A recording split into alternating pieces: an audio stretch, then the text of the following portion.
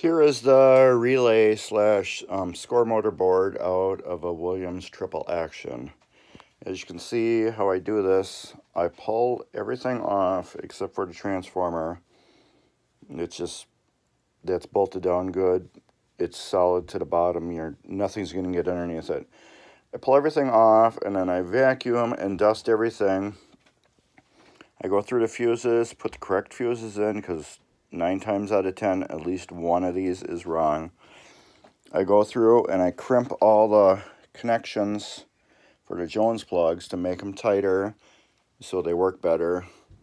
Pull the stacks off, go through all the switches, clean all the contacts on the switches.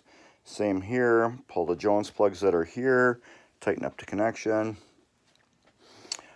Oil up the score motor. Go through these relays, clean them up, adjust them, pull them off the board, clean them up, vacuum, dust everything.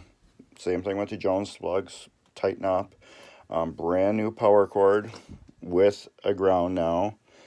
That's all soldered in. It is not um, wire twisted with wire nuts like they did from the factory. And same with these.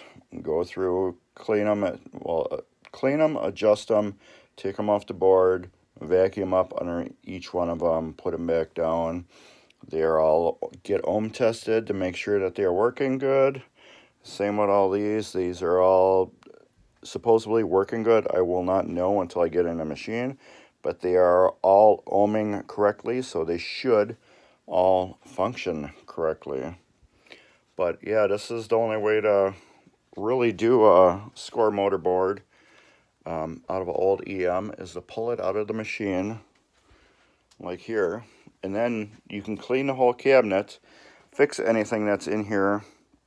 Like I just put in brand new flipper switches on both sides. It was also easy to rebuild the plunger go through vacuum it out wipe it out clean as much dirt as you can out and then um, put it back in there. It's just a lot easier to do while it's on the floor. So I hope you enjoyed this video. It's a short video. It's just kind of a pinball progress video. But there'll be cool things along the bottom here. Um, thumbs up, like, and subscribe. And thank you for watching to the end. Later.